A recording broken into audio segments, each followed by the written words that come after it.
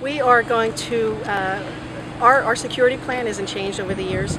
We've had uh, many big events in the city here, but this Miss America pageant coming back, of course, is a national event, and uh, we want to put all our, our uh, assets and our resources forward for this event. We also want to, times have changed since the last time the pageant's been in town, so we, you know, you change your uh, security plan, you increase it.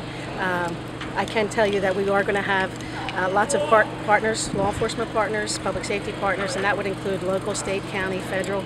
Um, people may see uh, more lighting up, more cameras up.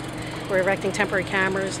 We will have the uh, metal trash cans wrapped for security reasons. Any security hazards, you know, we don't want glass on the boardwalk, no open containers, that type of thing.